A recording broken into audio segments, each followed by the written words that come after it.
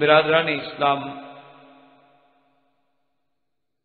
واجب الحترام بزرگوں، دوستوں، بھائیوں، عزیز نوجوانوں۔ قصص الانبیاء علیہ السلاد والسلام کے دروس کے ضمن میں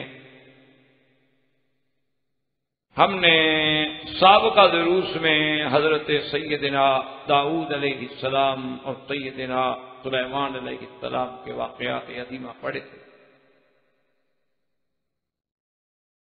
اور آج اسی ضمن میں ہم حضرت سیدنا زکریہ علیہ السلام کے بارے میں اور حضرت یا علیہ السلام اور سیدنا عیسیٰ علیہ السلام کے بارے میں پڑھے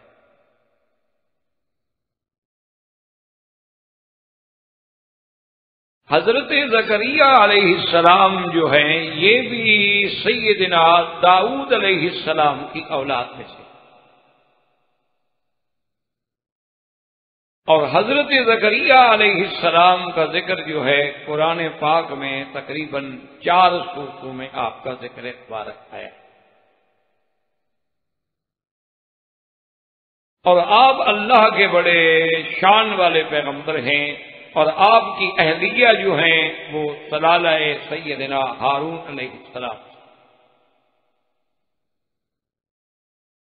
اور سیدنا زکریہ علیہ السلام جو ہیں یہ بھی ان پیغمبروں میں ہیں۔ جنہوں نے اپنی زندگی جو ہے وہ زہد کے ساتھ گزاری۔ اور ایک صحیح حدیث مبارک میں یہ بھی آتا ہے کہ حضرت زکریہ علیہ السلام کان نجارن یعنی آپ بڑھی کا آپ کام کرتے تھے اور اس سے آپ اپنی روزی حاصل کرتے اصل میں اگر ہم انبیاء علیہ السلام کے قصص مبارک میں اس بات پہ توجہ کریں کہ اللہ نے ہر نبی کو کوئی نہ کوئی عمل عطا فرمایا۔ یعنی آپ دیکھیں کہ نو علیہ السلاد والسلام کو اللہ نے سیدنا نو علیہ السلام کو اللہ تبارک و تعالی نے کشتی بنانے کا کام سکھایا یعنی درخان بڑھی کا کام سکھایا گیا اور حضرت نو علیہ السلام نے کشتی بنائی۔ اسی طرح حضرت زکریہ علیہ السلام جو ہے کان نجار اور حضرت داؤد علیہ السلام کو اللہ نے زرہ بنانے کا اور آپ کے ہاتھوں میں لوہے کو والنڈا لہ الحدی۔ ان عمل سابغات وقتر فسر اور میرے آقا سرکار دو عالم صلی اللہ علیہ وسلم نے یہ بھی ارشاد فرمایا ہے کہ میں نے بھی مکے والوں کی بکریاں چرائیں۔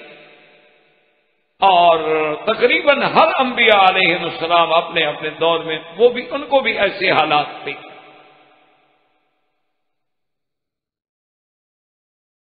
اور اسی طرح صحیح روایات مبارک میں یہ بات بھی موجود ہے کہ جب سیدہ عائشہ صدیقہ رضی اللہ تعالی عنہا سے سرکار دو عالم صلی اللہ علیہ وسلم کے بارے میں پوچھا گیا تو نے فرمایا کہ جب آپ گھر میں آتے تھے تو گھر کے کام میں بھی ہمارا ہاتھ بٹا دیتے تھے۔ اور کبھی اگر آپ کا جوتا مبارک ٹوٹ گیا تو اس کو خود اپنے ہاتھ سے گانڈ مبارک لگا لیتے۔ تھے کبھی آپ کا کپڑا مبارک پھٹ جاتا تو اپنے ہاتھ سے سی بھی لیتے اور اسی زمن میں آپ نے سید موسا علیہ السلام کا تو باقاعدہ واقعہ قرآن میں موجود ہے کہ دس سال تک حضرت شعیب کے ہاں آپ نے بکریاں چلائی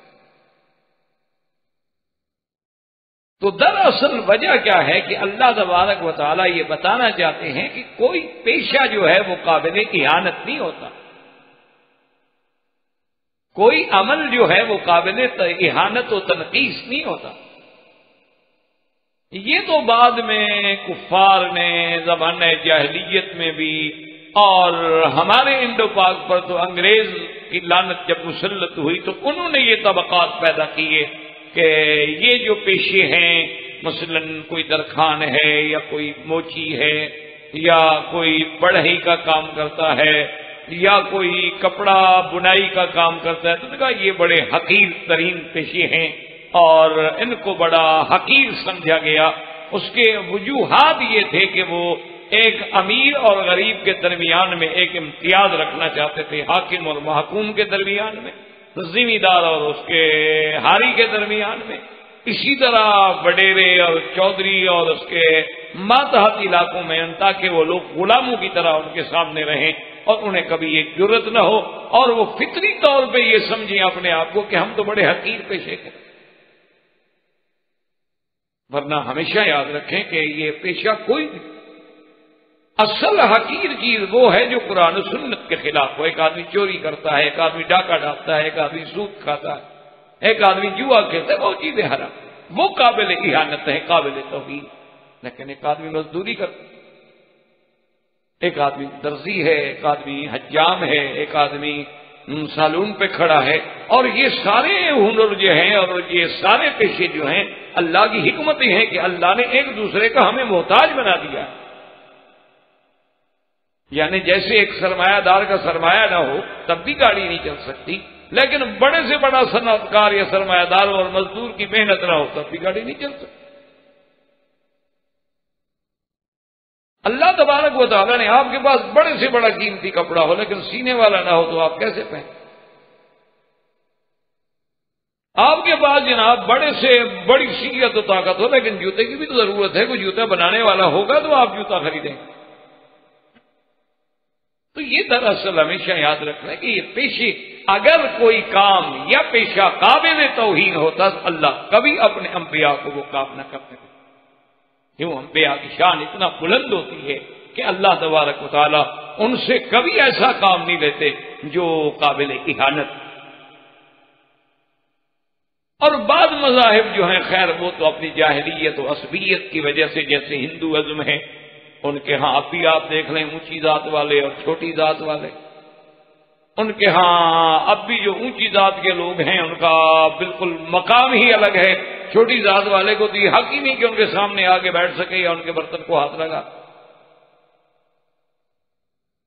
یعنی اس دور میں بھی یعنی دنیا وہاں کتنا آگے چلی گئی۔ اور وہ ملک جو اپنے کمپیوٹر کی تعلیم پہ اور اس میں جدید اس معلومات کی دنیا میں فخر کرتا ہو کہ میں اتنا آگے بڑھ گیا ہوں کہ بڑے بڑے ملک مجھ سے لوگ کام کرنے والے مانگ رہے ہیں۔ اس کی عصبیت کا یہ عالم ہو کہ ایک اونچی ذات ہے اور ایک چھوٹی ذات۔ اس لیے بہرحال سیدنا زکریہ علیہ السلام کا عمل مبارک یہ تھا اور اللہ کے نبی تھے اور حیکل سلیمان علیہ السلام جو حضرت سلیمان علیہ السلام نے مسجد اقسا کے ساتھ تعمیر فرمایا تھا اور جسے جنات نے تعمیر کیا تھا، اسی کے اندر آپ کا قیام تھا۔ گویا وہ اللہ کے گھر کے اور سخرا اور مسجد اقسا اور حیکل سلیمانی کے سب سے بڑے رکھوالے سمجھ لیں، سب سے بڑے ناظر سمجھ لیں، یا ان کو آج کل کے الفاظ میں جیسے کہتے ہیں کہ مجاور تھے یعنی مستقل اپنے آپ کو وہاں رکھنے والا جو جیوار اختیار کر لے۔ ہم سائے اختیار کر لے اور ایک قسم کا اپنے آپ کو لذ اور آپ کے زمانے میں، آپ کے خاندان میں سے ایک شخص تھے جن کا نام عمران تھا اور وہ بڑا صالح تھا۔ بہرحال ان کے بارے میں یہ تو ہمیں نہیں ملتا کہ وہ نبی تھے، لیکن وہ ایک مرد صالح۔ ان کی بی جو تھی امراط عمران، وہ حاملہ تھی اور ان کے خامند حضرت عمران فوت۔ ان کی وفات کے بعد بی بی صاحبہ نے جب محسوس کیا کہ میں حاملہ ہوں، خامند فوت ہو گیا ہے، اب حالات کیا ہوں گے؟ تو انہوں نے اللہ کے لیے منت مانی۔ کہ انی نظر تو معافی بدنی محررن، فتقبل منی، کہ یا اللہ، میرے بدن میں جو ہے نا، میں تیرے نام پہ آزاد کر کے بس تیری غلامی میں دے دوں گی، تیرے گھر کی خدمت کے لیے وقت کر دوں تو علماء نے لکھا ہے کہ بی بی صاحب کا ایک تو اخلاص تھا۔ اور کچھ یہ حالات بھی تھے کہ میں کل بڑے بچے کی کیسے پرورش کروں گی؟ خاون تو بہت ہو گیا۔ اس سے بہتر ہے کہ میں اللہ کے گھر کا مجاور بنا دوں، بجائے اس کی کہ وہی اولاد ظاہر ہو جائے۔ اور اس واقعے کو قرآن نے چونکہ ذکر کیا ہے تو ہمیں ساتھ یہ مسئلہ بھی سمجھ آیا کہ منت ماننا اگر خالص اللہ کے نام پہ ہو تو جائے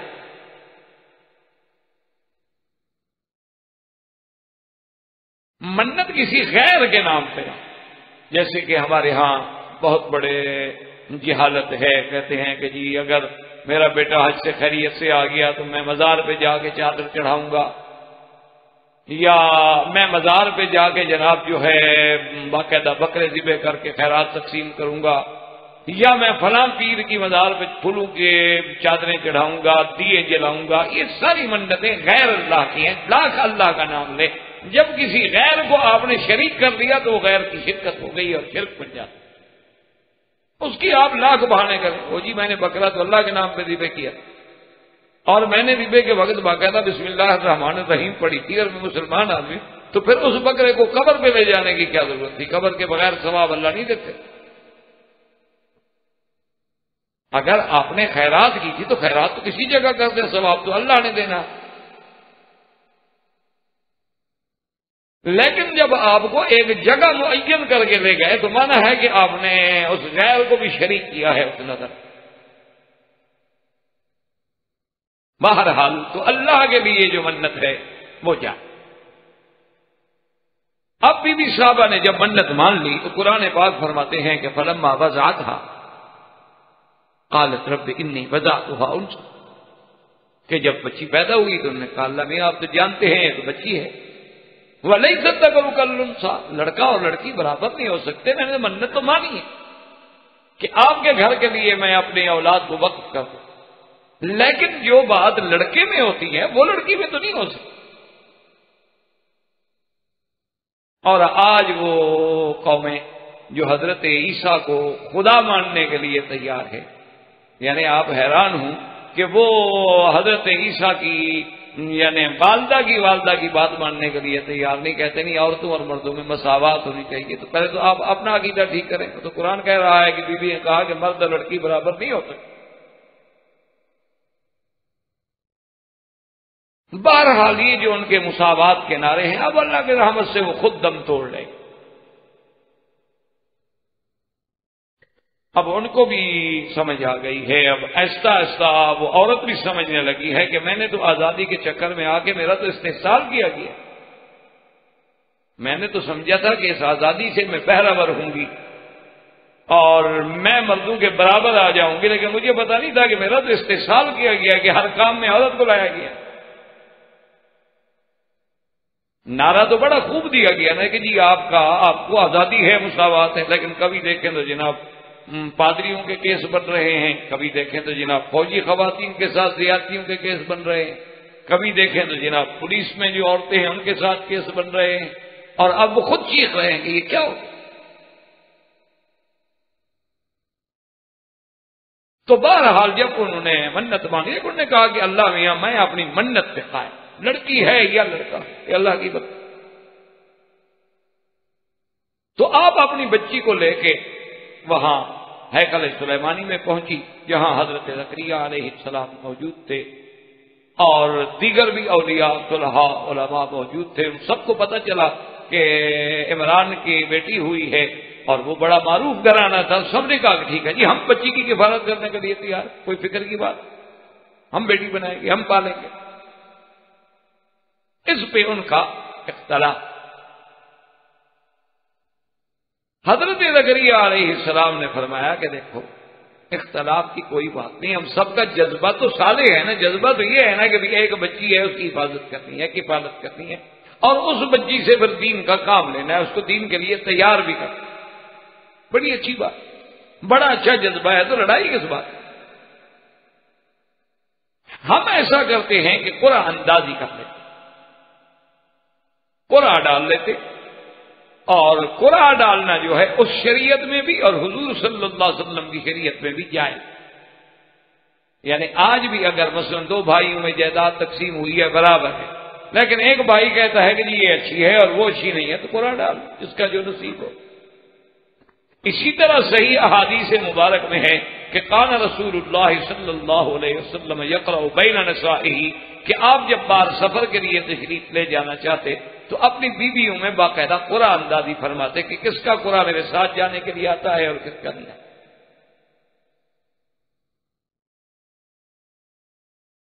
تو قرآن تجویز یہ ہوا کہ ایسا کرتے ہیں کہ بھئی قلم لے لیں ہر کوئی، کیونکہ اللہ والے لوگ تھے، کتابیں لکھنے والے، علماء تھے، سارے نے کہا کہ بھئی اپنی اپنی قلم لے آؤ۔ اور اس زمانے میں عام قلمیں تھی سادہ۔ جو لکڑی قسم کی ہم بھی اپنے ملکوں میں استعمال کرتے تھے، آج کل تو خیر دنیا ترقی کر گئی کہ قلم بھی بدل گئے اور تو قلم بھی اتنی قیمتی ہو گئے کہ سوچ نہیں سکتا ہے۔ تو بہرحال ان قلموں پہ نام لکھ دیتے۔ اور یہ نیا عجیب انداز ہے قرے کا یعنی ایسا قرآن کبھی نہ تاریخ انسانیت میں اس کا ذکر نہیں ہوتا۔ انہوں نے کہا کہ دیکھو یہ ندی بہ رہی ہے۔ ہم سب کلمے لکھ لیتے ہیں، اپنے اپنے نام لکھ لو۔ اور اس ندی میں کلمے پھینک دو پانی میں۔ تو صاف بات ہے، وہ تو بڑی کم وزن ہوتی ہے، اس کا وزن تو ہوتا ہوگا نہیں، اس کے قلم کا۔ تو لازم بات ہے کہ وہ بہاؤ جیسے ہے پانی کا، ویسے تیریں گی۔ لیکن جو قلم بہاؤ کے خلاف اوپر تیرنا شروع کر دے، اس کا حق ہے کیا بولے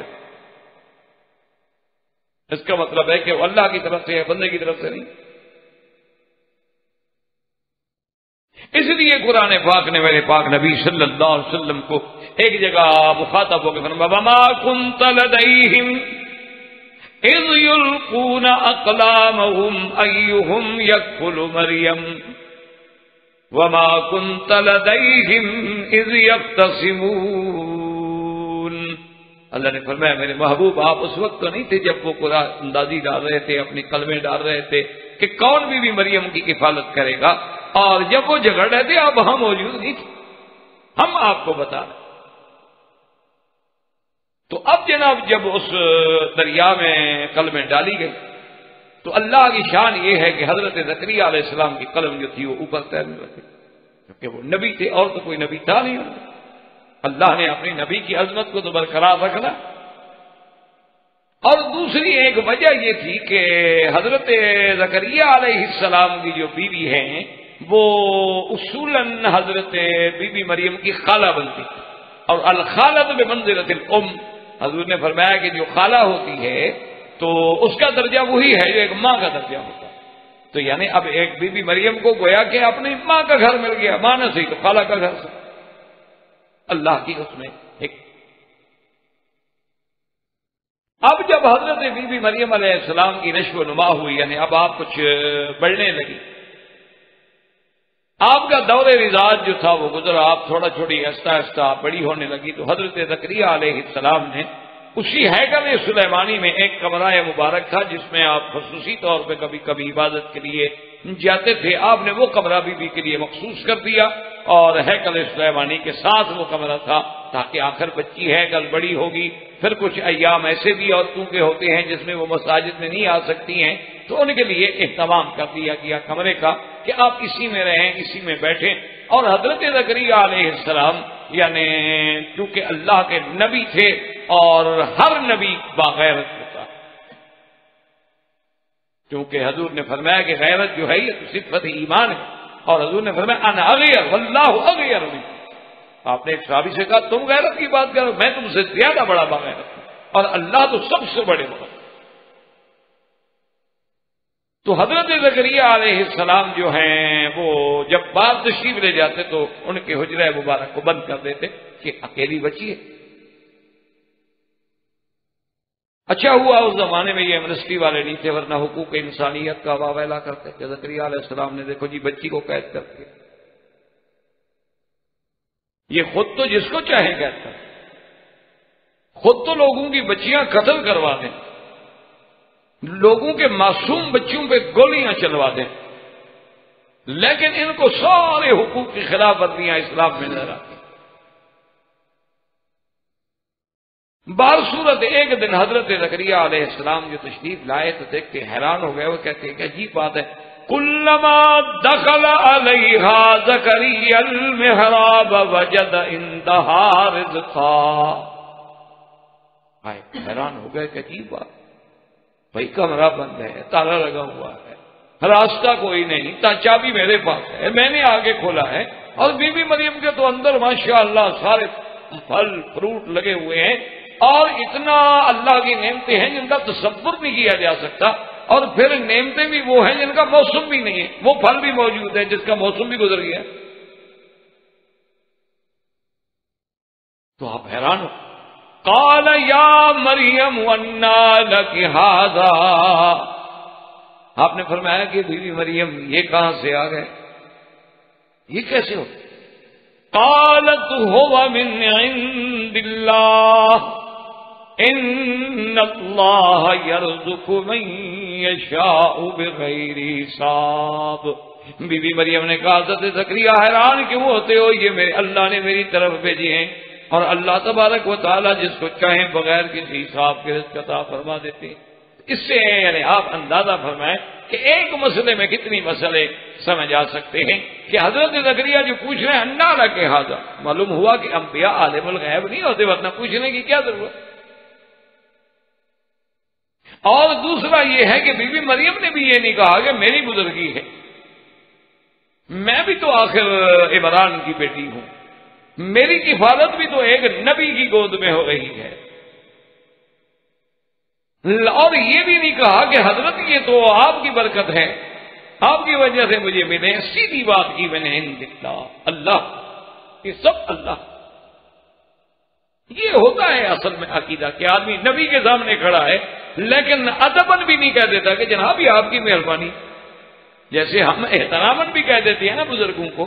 کہ ماشاء اللہ جی آپ بڑی کامیابی، آپ کہہ نہیں جناب یہ سب آپ کی برکت ہے، آپ کی دعا ہے، میں کیا کر سکتا؟ لیکن اللہ والے جو ہیں، وہ نبیوں کے گھر میں پلنے والے بالکل ان کے عقیدے پہاڑوں کی طرح مضبوط حضرت زکریہ علیہ السلام کے دل میں اللہ نے خیال ڈالا، چونکہ حضرت زکریہ علیہ السلام کی اولاد ہے۔ تو حضرت زکریہ علیہ السلام کے دل میں خیال پیدا ہوا کہ میرا مولا، اگر بی بی مریم کو بغیر موسم کے پھل مل سکتے ہیں، تو موسم تو ماری بھی گزر گئی، میں بوڑھا ہو گیا، بیوی بھی بوڑھی ہو گئی۔ ہمارا وہ سن جو ہے، اولاد والا، وہ تو گزر گیا۔ لیکن اگر آپ چاہیں تو پھر بغیر موسم کے ہمیں بھی تو بچہ دے سکتے ہیں، وہ بھی تو ایک پھل ہے۔ تو حضرت زکریہ علیہ السلام کے جب دل میں اللہ نے یہ بات ڈالی تو قرآن خود کہتا ہے کہ جب آئے تو ہنا لکھا زکریہ ربا، قال رب هب لي من لدنك ذرية طيبة إنك سميع الدعاء اور ایک دوسری جگہ قرآن میں آتا ہے کہ رب لا تذرنی فردن وانت خیر البارسین یا اللہ، مجھے اکیلا نہ موت دے دیجیے میرا بھی کوئی وارث پیدا فرما دے۔ لیکن ایک بات یاد رکھ لیں گے وارث سے مراد یہ نہیں ہوتا کہ انبیاء علیہ السلام کا مال کا میراث ہوتا۔ انبیاء علیہ السلام کا میراث جو ہے، جیسے وارثہ داود سلیمان و داود تو وہاں بھی مراد علم و نبوت ہے۔ علم اور حکمت ہے۔ ورنہ سلیمان علیہ السلام کے اور بھائی بھی ہیں، ان کو میراث کیوں نہ ملے؟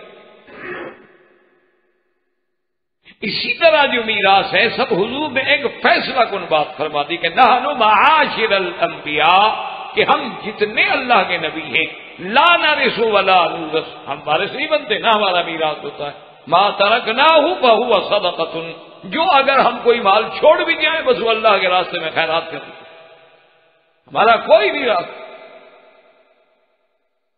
اور اس میں اللہ کی بہت بڑی حکمت ہے۔ اس کی وجہ یہ ہے کہ میراث ہو، تو بعض اوقات میراث کے لیے بھی آدمی دعائیں مانگتے ہیں کہ یار ابا مرتا ہی نہیں، سانپ بن کے بیٹھا ہوا ہے، کب مرے جان چھٹے ہوئے جداد بھی دے۔ بہت سارے بچے ہیں نا ماشاء اللہ فرما بردار جو دن دعائیں مانگتے رہتے کہتے ہیں جی کیا کریں؟ وہ بھائی تمہارے باپ کا کیا ہوگا؟ جی آپ کیا کہتے ہو؟ بوڑھا پڑا ہوا ہے سانپ بن کے دولت پہ۔ تو اگر کوئی آدمی نبی کا بھی راس ہو اور نبی کے لیے ایسی تمنا کر لے کہ ان کو بھی موت آئے اور میں مار تو کافر ہو جائے۔ اللہ نے نبیوں کا میراث ہی نہیں رکھا کہ کسی کے دل میں لالچ پیدا ہی کیوں حسد پیدا ہی کیوں ہو، جذبہ پیدا ہی۔ تو حضرت زکریہ علیہ السلام نے دعا مانگی اللہ تبارک و تعالیٰ سے اور دوسرے مقام پہ قرآن کہتا ہے کہ نادا رب بہو ندا ان کہ اللہ کو پکارا اور بہت رات کو اندھیرے میں تحجد میں اکیلے کھڑے ہیں اور خفیہ انداز اسی لیے علماء نے لکھا ہے کہ دعا کے اندر کبھی آدمی تجاوز نہ کرے، کہ زور زور سے چیخے۔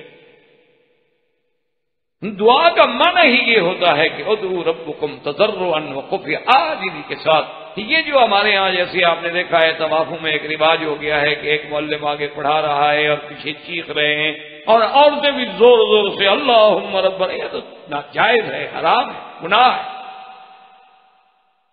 عورت کے لیے رفا سو۔ اصل دعا وہ ہوتی ہے جو تمہارے دل سے نکلتی ہے کہ تم آج کے ساتھ، تجربوں کے ساتھ جانتے ہو کہ اللہ سن رہے ہیں، میں ایسا بولوں یا زور سے بولوں۔ اس لیے قرآن کہتے ہیں نادار بہو ندان خفیہ اور اس کے بعد جو ہے صاف کہا کہ میرا مولا، انی وہن میرے ہڈیاں بھی کمزور وشتا لگوا سچا اب دیکھیں نا جی کہ قرآن کتنا پہلے ہمیں بتا رہا ہے کہ ہڈیوں میں بھی کمزوری ہوتا اور کتنا عظیم محاورہ ہے کہ وشتا لگوا سچائی بنی میرا اللہ، میرا بال تو ایسے ہے نا جیسے شولہ بھڑکتا ہے، ایسے سفید ہو گئے کوئی کالا رہا ہی نہیں ہو تو بوڑھا ہو گیا۔ لیکن آپ کی دعا سے میں نا امید نہیں، آپ کی رحمت سے نا امید نہیں۔ تو یہاں قرآن کہتے ہیں فنا دت ملا اکت قائم فلم حراب ان اللہ یبشرک بیحیا مصدقا بکلمت من اللہ وسیدا وحسورا۔ ونبیا من الصالحین آپ نماز پڑھنے ہیں اللہ کے فرشتے نے آواز. اور دوسری جگہ قرآن کہتے ہیں، یا زکریا انان بشرو کا بھی غلام یا لم نجعل له من قبل سمیا بات ہے کہ اللہ پاک نے خود ادا ندا فرمائی تو ایک ہی بات ہے، چاہے ملائکہ کے ذریعے ہو یا خدا بند قدوس، براہ راست فرما دے۔ اللہ تبارک و تعالی نے فرمایا کہ زکریہ علیہ السلام، ہم نے بھی آپ کی دعا سن لی ہے اور فرشتے نے بھی آگے کہا کہ اللہ کی طرف سے ہم تمہیں بشارت دیتے ہیں۔ اللہ تمہیں بیٹا دیں گے اور بیٹا بھی یہ ہوگا۔ اور بیٹا بھی ایسا ہوگا مصدقم بکلمت من اللہ، تصدیق کرنے والا یعنی وہ بھی نبی ہوگا۔ اور سید ہوگا، سردار ہوگا حصورن وہ پاک ہوگا، اس کو عورت کا تو خیال تک بھی نہیں ہوگا، نبی ہوگا اور صالحین میں ہوگا، اتنی صفتوں والا ہم آپ کو بیٹا عطا پر اللہ تبارک و تعالیٰ نے ان تمام صفتوں والا بیٹا جو ہے، حضرت زکری علیہ السلام کو عطا فرمایا۔ اور حضرت زکری علیہ السلام کو بیٹے جو ملے ہیں، تو آپ اندازہ کریں کہ یا خود کتاب اب اللہ نے بچپن میں آپ کو نبوت بھی عطا تو حضرت زکریہ علیہ السلام کا یہ با عظمت دور جو ہے، جب آپ کا دور گزرا ہے تو اب اختلاف ہے۔ بعض علماء فرماتے ہیں کہ وہ اپنی طبعی موت سے فوت ہوئے۔ اور بعض علماء فرماتے ہیں کہ نہیں، ظالموں نے یہود نے ان کو بھی شہید کیا ہے، ان کے پیچھے دوڑے اور حضرت زکریہ علیہ السلام نے ایک درخت ایسے کھڑا تھا، اس کے اندر جا کے پناہ لے لی اور درخت مل گیا تاکہ حضرت زکریہ علیہ السلام اس پہ پناہ لے لیں۔ لیکن بعض روایات اسرائیلیہ میں ہے کہ شیطان نے ان کے کپڑے کو تھوڑا سا کھینچا تھا کہ یہود کو پتہ لگ جائے گا زکریہ یہاں چھپے ہوئے ہیں۔ اور اللہ عالم اس نے کھینچا۔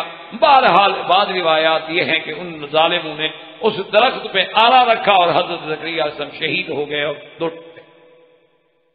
لیکن بعض روایات کہتی ہیں کہ یہ بات غلط ہے۔ حضرت زکریہ علیہ السلام اپنی طبعی موت کے ساتھ وفات۔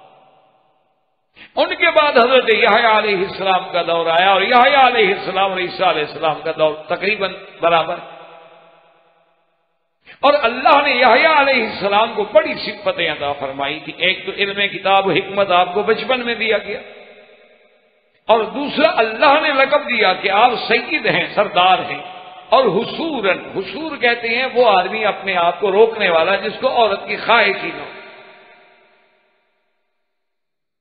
اس لیے ہمیشہ یہ بات ذہن میں رکھ لیں کہ اللہ نے اپنے انبیاء میں بھی یعنی انبیاء علیہ السلام کی قسمیں بنائی کہ بعض انبیاء تو ایسے آئے جو نبی بھی تھے اور بادشاہ بھی تھے۔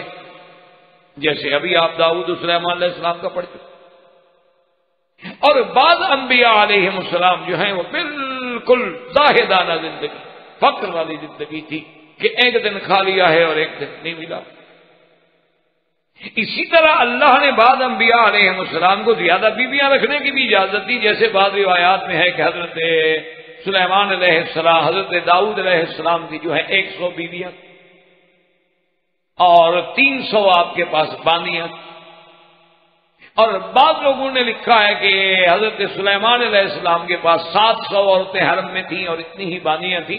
وہ یہ روایات اسرائیلیہ ہیں، لیکن کثرت ازواج بھی انبیاء علیہ السلام سے ثابت ہے۔ حضور صلی اللہ علیہ وسلم نے بھی گیارہ نکاح فرمائے اور بوقت وفات نو بیویاں آپ کے گھر میں موجود۔ لیکن اس کے ساتھ اللہ نے ایسے نبی بھی بھیجے ہیں جیسے حضرت یحییٰ علیہ السلام، کہ انہوں نے زندگی میں شادی ہی نہیں فرمائی موقع اسی طرح حضرت عیسیٰ علیہ السلام انہوں نے بھی شادی نہیں فرمائی۔ اور آسمانوں پہ اٹھا لیے گئے، لیکن شادی نہیں فرمائی۔ تو اسی دور میں حضرت یحییٰ علیہ السلام کا جو دور ہے، اسی زمانے میں ایک اور واقعہ پیش آیا۔ کہ وہ بی بی مریم جس کی امراط عمران نے منت مانی تھی اور جس کی کفالت حضرت زکریہ علیہ السلام نے فرمائی تھی، اب وہ بیوی جو ہیں، جوان ہو گئی۔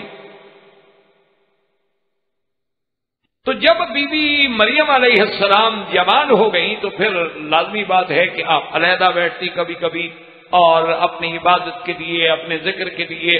اور اسی طرح بات ایام خاص میں بھی ذرا علیحدگی اور تنہائی اختیار کرتی میں کہ گھر والوں سے تھوڑا دور رہوں۔ اور بات کہتے ہیں کہ نہیں، اپنی عبادت کے لیے اپنے آپ کو علیحدہ رکھتی تھی تاکہ میری عبادت جو ہے وہ ریا میں کرتا جس کو اللہ نے قرآن میں باقاعدہ ذکر فرمایا ہے اور سورت مریم کے نام سے قرآن میں سورت موجود ہے کہ وقت فل کتاب مریم۔ من اہلها مکانا شرقیا کہ آپ ایک جانب جانب شرق میں چلی گئی اور آپ لہدگی میں اور پردے میں آپ بیٹھی ہوئی تھی کہ دور سے آپ نے دیکھا کہ ایک خوبصورت جوان آدمی آ رہا تو بی بی مریم حیران ہو گئی کہ یہ کون آدمی کہ میری طرف اور میرے منزل کی طرف اور میرے گھر کی طرف اور میں اکیلی عورت ہوں اور میری طرف بڑھتا ہوا آ رہا کالت انی اعوذ بالرحمن من کا ان کنت تقیا تو بی بی صاحبہ نے فوراً کہا کہ یہ کیا کر رہے ہو؟ اگر تم اللہ سے ڈرنے والے ہو تو میں خدا کی پناہ پکڑتی ہوں، میرے قریب مت کال انما رسول ربک لأهب غلاما زکیا تو حضرت آنے والے جو ہیں وہ تو دراصل جبریل علیہ السلام تھے، لیکن چونکہ انسان کی شکل میں تھے تو بی صاحبہ پہچان نہیں تھے تو ان نے فرمایا کہ بی بی کیوں گھبرا رہی ہو؟ میں تو اللہ کا بھیجا ہوا ایک قاصد ہوں، اللہ کا بھیجا ہوا فرشتہ ہوں، تاکہ آپ کو آ کر غلام کی ایک لڑکے کی جو ہے وہ خوشخبری دوں۔ قالت انا يكون لي غلام ولم يمسسني بشر ولم اك بغيا۔ بی بی مریم نے کہا عجیب بات تم کیسے مجھے ایک بچے کی خوشخبری دینے کے لیے آ گئے ہو؟ حالانکہ میں نے تو ابھی شادی بھی نہیں کی، مجھے تو کسی بندے نے آج تک ہاتھ تک نہیں لگایا، چھوا تک نہیں۔ اور نہ ہی نعوذ باللہ میں کوئی غلط قسم کی عورت ہوں، سرکشی کرنے والی، گناہ کرنے والی۔ تو بغیر خامد کے، بغیر نکاح کے، بغیر شادی کے کیا مطلب ہے بچے کی خوشخبری دینے کا؟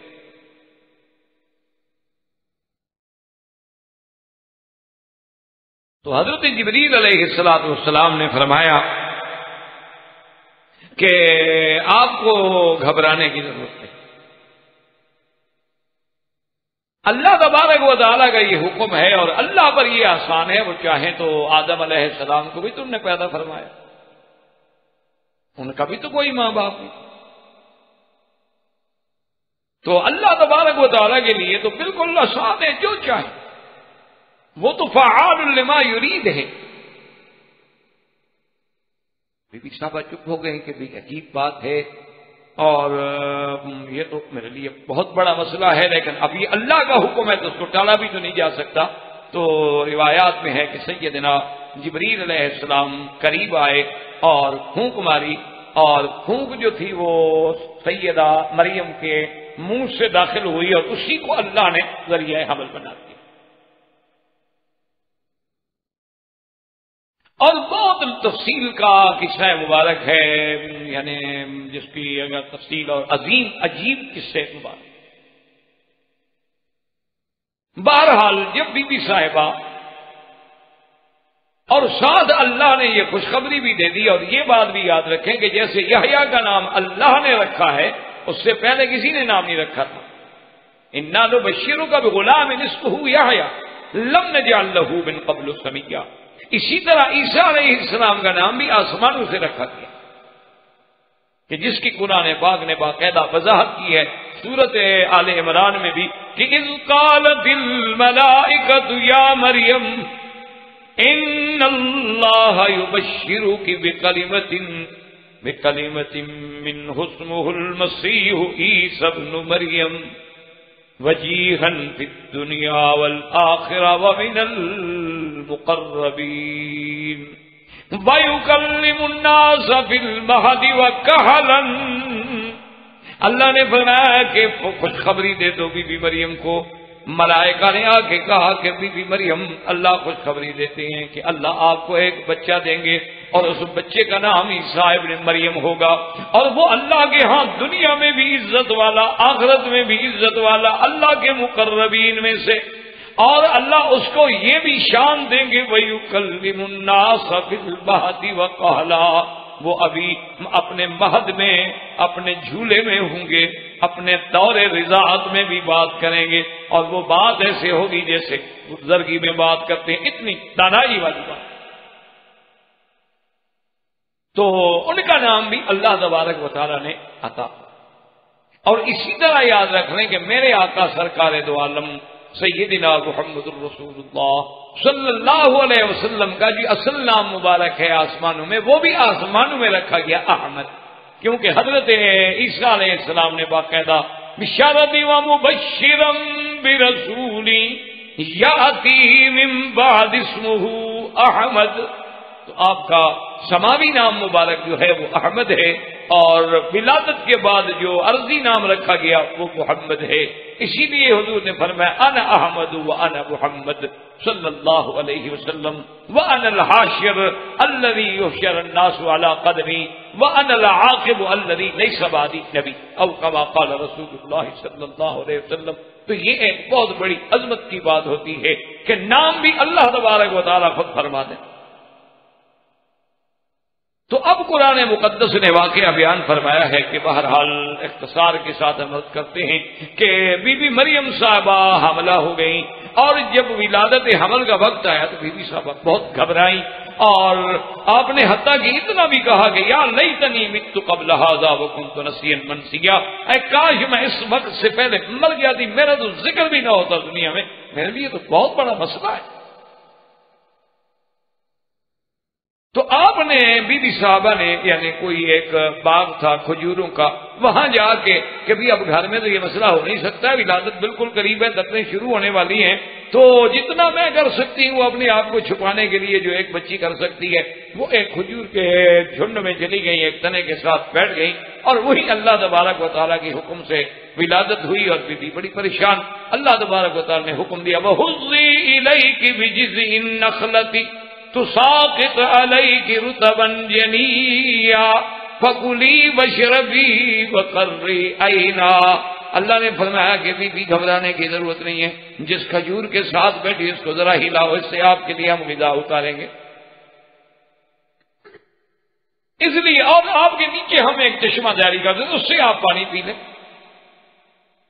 اس لیے بعض علماء نے بڑا اس آیت پہ عجیب سا ادیبانہ جملہ لکھا ہے کہ گویا کہ اللہ نے یہ حکم دیا کہ اے بی بی یعنی کلی من الرطب الجنی وشربی من الماء النقی وقری عینیک بالولد النبی۔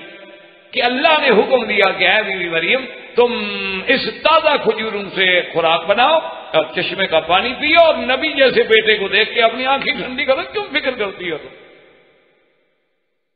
اور اسی لیے علماء نے لکھا ہے کہ عورت کے لیے بوقت ولادت اور ولادت کے فوراً بعد کھجور سے زیادہ بہتر کوئی وٹامن نہیں ہو سکتا، کوئی خوراک نہیں ہو سکتی۔ اگر اس سے بہتر اور کوئی چیز ہوتی تو اللہ وہ بھی تو بھیجنے پہ قادر تھے بی بی مریم کے لیے۔ پہلے رزق بھیج سکتے تھے تو اب اور فروٹ نہیں بھیجے جا سکتے۔ تو اس لیے انہوں نے لکھا ہے کہ کھجور کی سے اچھی غذا جو ہے وہ عورت کے لیے کوئی اور ہو نہیں۔ سکتی اسی لیے یعنی آپ حیران ہوں گے کہ یہاں پر جو عرب خواتین ہیں، جو صحیح بانوں میں عرب لوگ ہیں وہ جب ہمارے گھروں میں آتے ہیں نا تو وہ کھجور ہو تو یا ہمارے گھر والے ویسے بھی رواج کے مطابق عرب سمجھ کے کھجور رکھیں تو ہمارے لوگ تو دو تین کھجوریں کھانے کے بعد سلام علیکم بیٹھ جاتے ہیں۔ تو وہ حیران ہوتی ہیں کہ تم کیسے لوگ یہ تم کیسی عورت ہو؟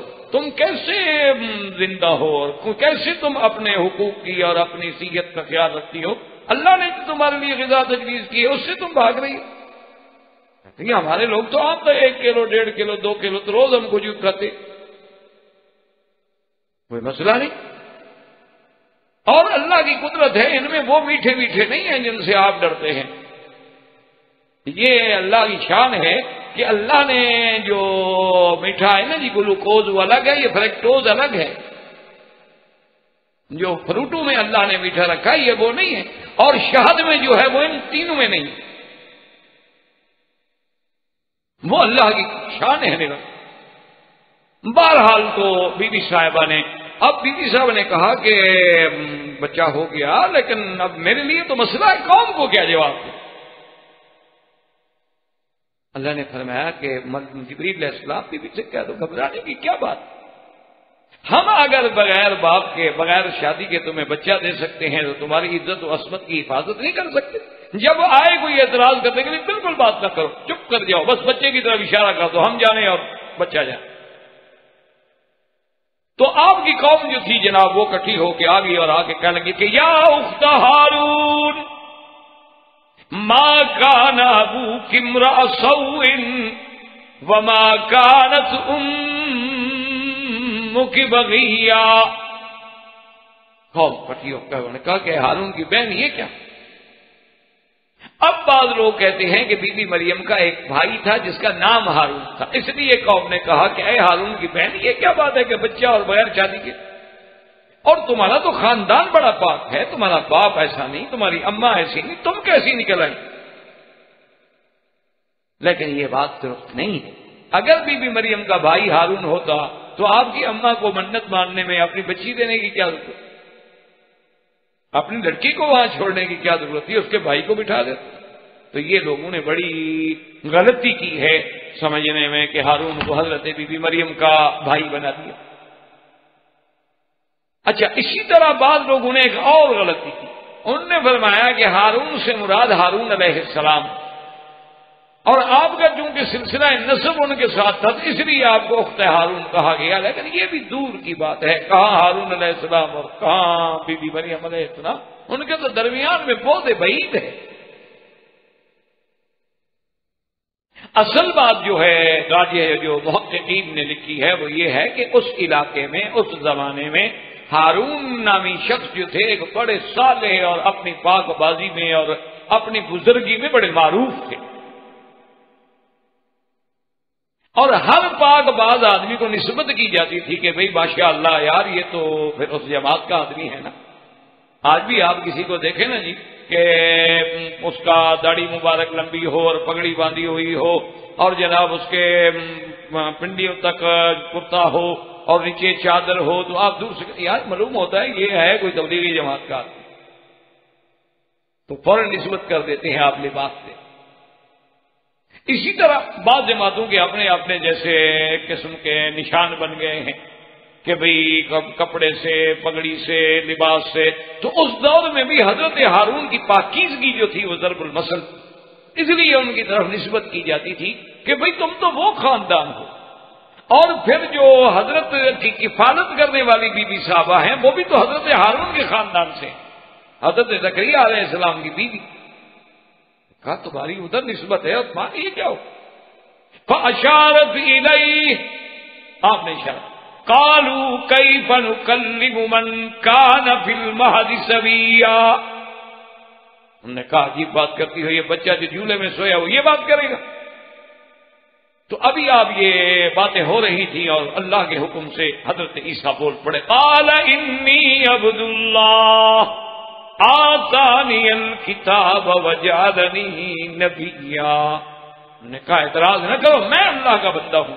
مجھے اللہ نے پیدا فرمایا ہے اور اللہ نے مجھے نبی بھی بنایا ہے اور اللہ نے مجھے کتاب بھی دی ہے اور حکمت بھی دی ہے اور اللہ نے مجھے مبارک بنایا ہے اور اللہ نے مجھے اپنی عبادت کے قائم کرنے والا بنایا کون ہو تم اعتراض کرنے والے؟ جب حضرت عیسیٰ بولے تو سب چکو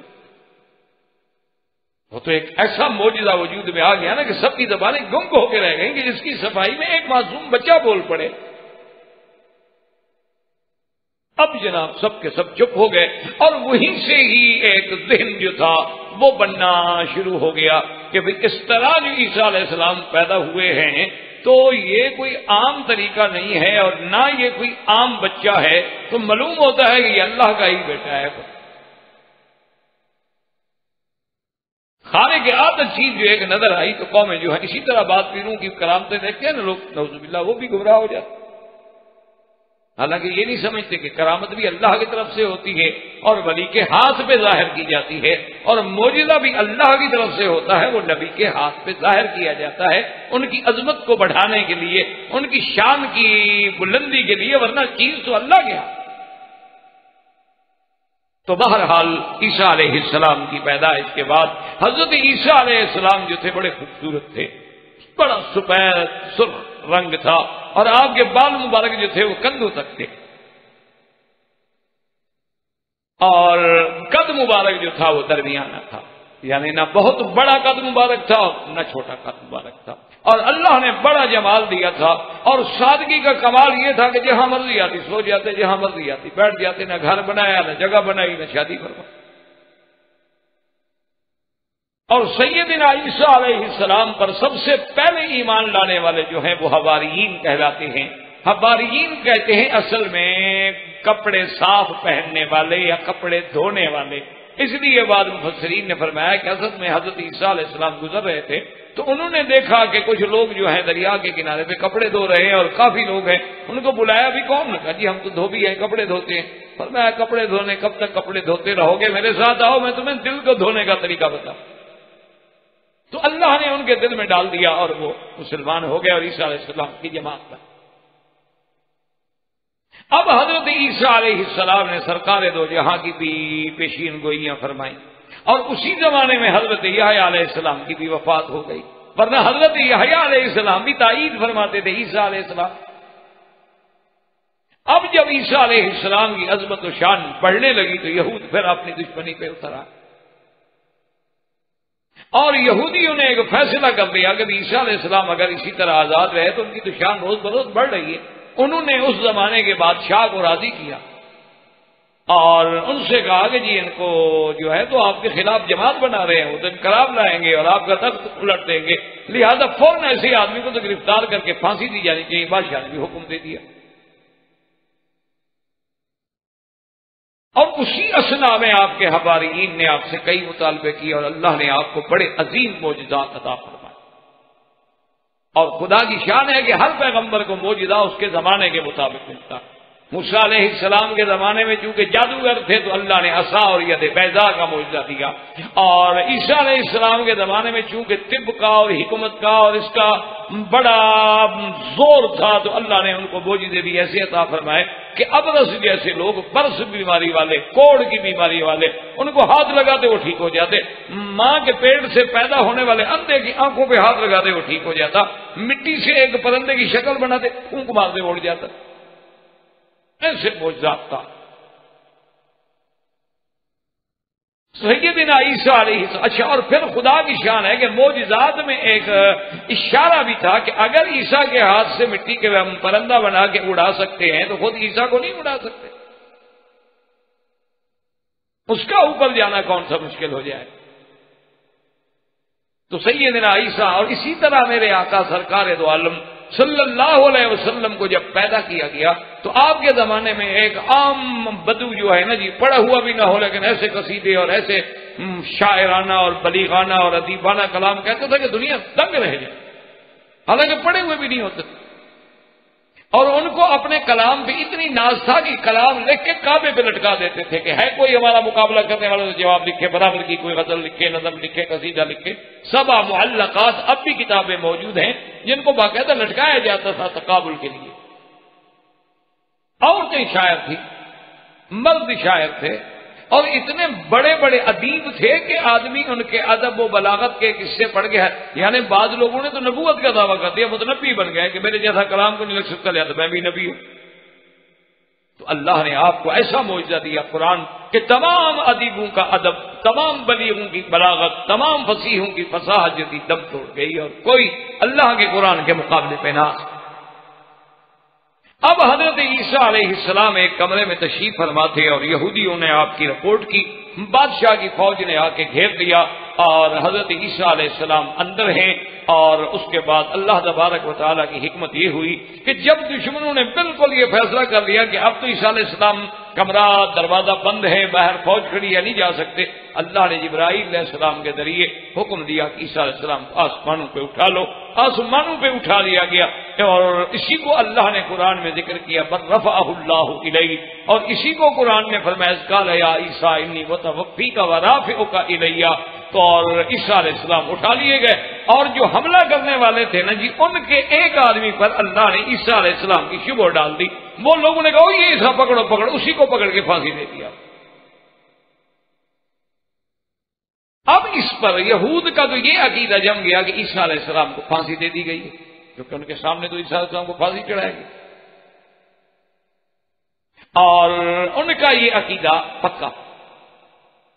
اچھا عیسائیوں کا بھی یہی عقیدہ ہو گیا اب عیسیٰ علیہ السلام پھانسی دے دیے گئے۔ اور یہود بے بہت نے پھانسی دی ہے اور وہ پھانسی چڑھ کے ہمارے گناہوں کا کفارہ کر گئے۔ اب ہم جو مرضی ہے کرتے رہے سارے گناہ حضرت عیسیٰ کیوں آ گئے؟ ان کا بھی یہ عقیدہ۔ اور ان میں پھر تین گروہ بن گئے۔ ایک نے تو کہا کہ عیسیٰ خود خدا تھا، اوپر چل ایک نے کہا کہ نہیں، خدا تو نہیں تھا، اللہ کا بیٹا۔ اور ایک پارٹی نے کہا کہ نہیں نہیں، خدا بھی نہیں، بیٹا بھی نہیں، بلکہ تین میں ایک ہے۔ عقید ہے اسے کہتے ہیں کہ بی بی مریم، خدا اور عیسیٰ علیہ السلام۔ ان تین میں ایک خدا ہے جو ہمیں سمجھ نہیں آ رہا۔ ہے ان تین، لیکن ان تین سے الگ تو نہیں ہے، لیکن ان تین میں خدا۔ اس کو کہتے ہیں عقید ہے تصلیس اور اللہ کے قرآن میں سب کی نبی۔ اچھا مرزا غلام احمد قادیانی جو ہے ملون اس کا بھی یہی عقیدہ ہے کہ عیسیٰ علیہ السلام کو آسمانوں پہ نہیں اٹھایا گیا، بلکہ وہ تو پھانسی کیا ہو قتل ہو گئے۔ بلکہ ایک کتاب میں تو اس نے یہ بھی لکھ دیا کہ ان کی قبر جو ہے وہ کشمیر۔ میں اچھا اس کی بھی ایک وجہ ہے کہ اس نے ایسا کیوں کہا، کیونکہ اس نے پھر خود مسیح مود کا دعویٰ کرنا تھا۔ تو اگر مان لے کہ وہ موجود ہے تو دوسرا مسیح مود کیسے بنے؟ تو بہرحال یہ ایک الگ تب لمبی بحثیں ہیں اور توفی کا معنی پر بھی علماء کے بڑے بڑے آباد ہیں جو ہمیں اس وقت وقت اجازت نہیں دیتا لیکن قرآن نے بہرحال فیصلہ کیا ہے۔ اللہ نے فرمایا کہ ماں صلاح وبا قتل یقیناً اللہ علیہ میرا محبوب یہ سب جھوٹ بول رہے ہیں۔ نہ آپ کو قتل کیا گیا، نہ آپ کو پھانسی دی گئی، بلکہ اللہ نے آپ کو زندہ و سلامت آسمانوں پہ اٹھا لیا۔ انہو تارا مال ملائکہ ملائکہ کے ساتھ اڑتے ہوئے اوپر تشریف لے گئے۔ اور لینت المعراج میں بھی حضرت عیسیٰ علیہ السلام کی حضرت صلی اللہ علیہ وسلم سے ملاقات ہوئی۔ اور احادیث میں ایک حدیث نہیں بلکہ احادیث سے ہیں ہے کہ انہو ینزل عیسیٰ ابن مریم علا منارت شرقیہ بیضاء دمشق، وانہو یقتل الدجال، وانہو یکسر السلیم، وانہو یدع الجزیہ ویملع الارض عدلا وقسطا، ثم انہو یدفن فی روضت النبی صلی اللہ علیہ وسلم، او کما قال رسول اللہ صلی اللہ علیہ وسلم۔ ایک حدیث نہیں متواتر احادیث ہیں۔ حتیٰ کہ علماء نے کتابیں لکھی، التصریح یعنی بما تبا فی نزول المسیح، اور اس میں کئی احادیث مبارک کا ذکر کیا۔ حضور نے فرمایا اسرائیل نے مریم آخر زمانے میں اتریں گے، اور وہ بنو اسرائیل کے آخری نبی تھے۔ اور میرے آقا جو ہیں وہ خاتم الانبیاء والمرسلین ہیں۔ اور اللہ کی شان دیکھو۔ آپ ماشاءاللہ پڑھے لکھے لوگ ہیں، آپ سمجھتے ہیں کہ اگر آپ نے ایک دائرہ کھینچنا ہو نا جی آپ دیکھتے ہیں نا جیسے ہند صاحب ہیں، انجینئر وغیرہ ایک دائرہ پلکار رکھ کے دائرہ بناتے ہیں۔ تو دائرہ تب بنتا ہے جب دونوں سرے برابر ہوں۔ اگر سرے برابر نہ ہوں تو دائرہ کبھی نہیں بنے۔ اب خدا کی شان دیکھیں کہ اللہ نے نبوت کی ابتدا کی تو اس وقت بھی آدم اور ہوا صرف ایک مرد عورت تھی۔ اور کوئی نہیں۔ اور یہاں بھی شان دیکھیں کہ جب بنو اسرائیل پہ انتہا ہوئی تو بی بی مریم اور عیسیٰ۔ اب دائرہ مکمل ہو گیا۔ اچھا دائرہ کبھی بن نہیں سکتا جب تک اس کا مرکزی نقطہ نہ ہو۔ مرکزی نقطہ ہوگا تو پرکار رکھ کے دائرہ آپ بنائیں گے۔ اگر کہیں رکھیں گے نہیں تو دائرہ کیسے بنائیں گے؟ تو مرکزی نقطہ جو ہے وہ محمد الرسول اللہ ہے کہ آپ کی وجہ سے اللہ نے سارا جہان سجا دیا۔ تو اس لیے علماء نے فرمایا ہے کہ یہ ایک عجیب بھی یعنی اتفاق ہے کہ آخر عیسیٰ علیہ السلام کو اوپر کیوں بٹھایا گیا؟ تاکہ حضور نے سب کی تصدیق کی ہے تو بنو اسرائیل کا آخری نبی حضور صلی اللہ علیہ وعلا علیہ وصحابی وسلم تسلیم کثیرن کثیرہ کی تصدیق کر۔ تو حضرت عیسیٰ علیہ السلام اتریں گے اور عیسیٰ علیہ السلام ہی باب الد میں دجال کو قتل کریں گے۔ اور انہی کے زمانے میں یہودیت کا پورا کا پورا جو ہے اللہ تبارک و تعالیٰ زمین سے فتنے کو ہمیشہ کے لیے ختم کر دیں گے سلیم کی قوتوں کو بھی توڑ ڈالیں گے اور یاجوج ماجوج بھی آپ کی دعا سے ہلاک ہوں گے۔ اسی زمانے میں نکلیں گے اور عیسیٰ علیہ السلام دعا کریں گے۔ اللہ ان پہ عذاب، بیماری مسلط کریں گے، وہ مر جائیں گے۔ پھر عیسیٰ علیہ السلام دعا مانگیں گے۔ اللہ پرندے بھیجیں گے، بڑے بڑے جو ان کو اٹھا کے سمندر میں پھینک دیں گے۔ اور پھر عیسیٰ علیہ السلام کے زمانے میں پوری دنیا میں عدل و انصاف کا دور، دورہ ہوگا۔ اور پھر عیسیٰ علیہ السلام شادی بھی فرمائیں گے۔ اور عیسیٰ علیہ السلام کی جب وفات ہوگی تو ید فی روضت النبی صلی اللہ علیہ وسلم۔ ہمارے آقا سرکار محمد پاک صلی اللہ علیہ وسلم کے ہر روضہ مبارک میں دفن ہوں گے اور آج تک روضہ مبارک میں وہ جگہ باقی ہے کہ ہارا موضع قبر عیسیٰ ابن مریم علیہ السلاط والسلام۔ اور حضور نے فرمایا، اسی طرح قیامت والے دن ہا نباس یوم القیامہ۔ ہم اس طرح قیامت میں اٹھیں گے کہ میں ہوں گا عیسیٰ ابن مریم، ہوں گے ابو بکر، عمر۔ صلی اللہ علیہ وعلا آلہ واصحابہ وسلم تسلیما کثیرا کثیرا واللہ تعالی عالم وعلمہ اتم الحمدللہ کہ اللہ تبارک و تعالی نے اپنے رحمت سے اور اپنے فضل و منت سے انبیاء علیہ السلام کا ایجاز اختصار کے ساتھ اور کچھ کچھ تفصیل کے ساتھ اللہ نے ہمیں یہ موقع عطا فرمایا ہے اور یہ جو منہج توضیع والے ہیں، ان کا بھی شکریہ ہے۔ کہ انہوں نے بھی صبر کے ساتھ، تحمل کے ساتھ ہمارے دروس کو ریکارڈ کیا ہے۔ اللہ ان کو بھی اس کام میں برکت دے اور ہمارے لیے ذریعہ نجات بنائے۔ ربنا تقبل منا انك انت السميع العليم وتب علينا انك انت التواب الرحيم اللهم انك عفو تحب العفو فاعف عنا۔ اللهم انا نعوذ بك من جهد البلاء ودرك الشقاء وسوء القضاء وشماتة الاعداء۔ اللهم وفقنا لما تحب وترضى، وصلى الله تعالى على خير خلقه سيدنا محمد وعلى آله وأصحابه أجمعين. برحمتك يا أرحم الراحمين. وآخر دعوانا أن الحمد لله رب العالمين. اس مبارک سلسلے کے اختتام پر ہم اللہ تعالی کی ذات عالی کی حمد و ثناء بجا لاتے ہیں، جنہوں نے ہمیں اس عظیم خدمت کی توفیق بخشی۔ ہم طویلت الشیخ محمد مکی حجازی مدرس مسجد حرام کے شکر گزار ہیں اور دعا گو ہیں کہ حق تعالی شان ہو انہیں اس کاوش پر جزائے خیر عطا فرمائے۔ اور ہمیں ان اعمال کی توفیق بخشے جو اسے پسند ہیں اور جن پر وہ راضی ہے آمین۔ سامعین کرام، یاد رکھیں کہ قصص الانبیاء کے اس مبارک سلسلے کے جملہ حقوق منہج کارپوریشن، جدہ برائے پروڈکشن و ڈسٹریبیوشن کے لیے محفوظ ہیں۔